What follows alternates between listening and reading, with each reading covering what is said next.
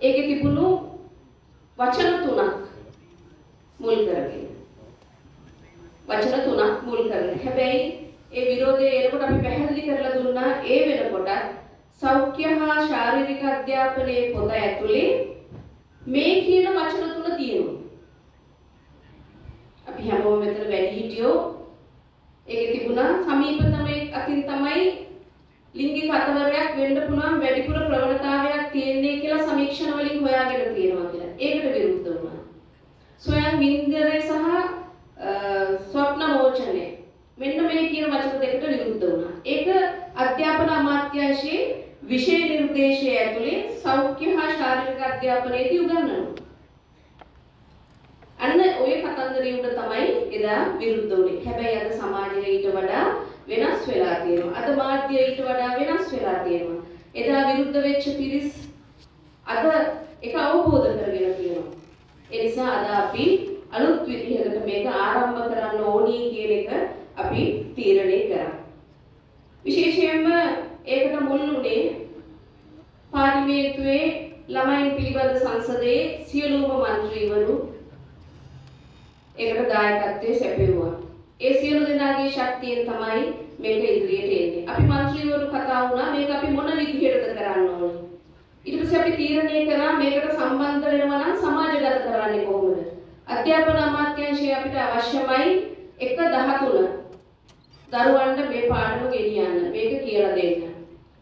ඊළඟට පූර්ව ළමා සංවර්ධනය සහ අනිකුත් ප්‍රජාව බිඳුව පහ දරුවෝ බිඳුව තුන දරුවෝ අය වයස් දරුවන්. ඒ වගේම බිඳුව තුන දරුවන් දැනුවත් කරන්න වෙන්නේ දෙමාපියන් මගින්. එහෙනම් වැඩිහිටියන් දැනුවත් කරන්න ඕනේ. මෙන්න මේ ටික පිළිවෙලට ගන්නකොට අපිට තේරුණා අධ්‍යාපන අමාත්‍යාංශය ඉතාමත් අවශ්‍යයි. සෞඛ්‍ය අමාත්‍යාංශයත් ඒ වගේම අවශ්‍යයි.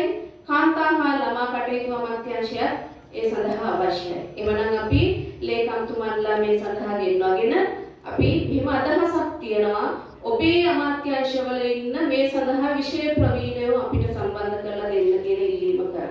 ඒ ඉල්ලීම යටතේ අපිට ඒ විෂය ප්‍රවීණයන් අපිට සම්බන්ධ කරා. ඒකෙදී අපි ඒ අයගෙන් කමිටුවක් සකස් කරා. ඒ කමිටුවේ පින්තූර තමයි ඔතන ඔය තිරේ වැටෙන්නේ.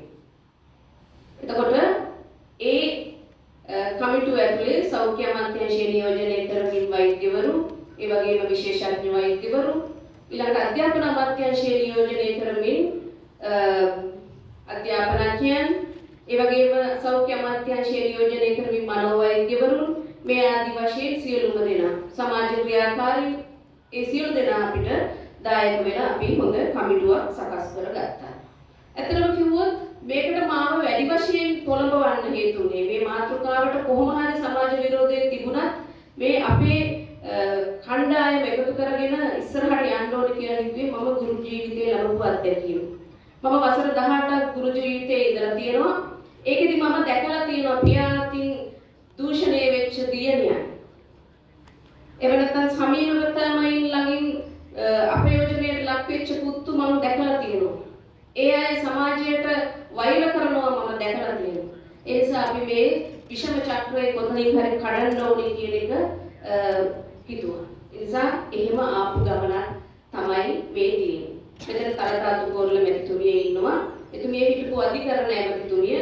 මෙතන අපේ රේණුකා මහත්මිය ඉන්නවා නියෝජ්‍ය පොලිස්පතිතුමිය. එතුමිය සාක්ෂි සභාවේ මම ඊයේ රෑ කතා කරා.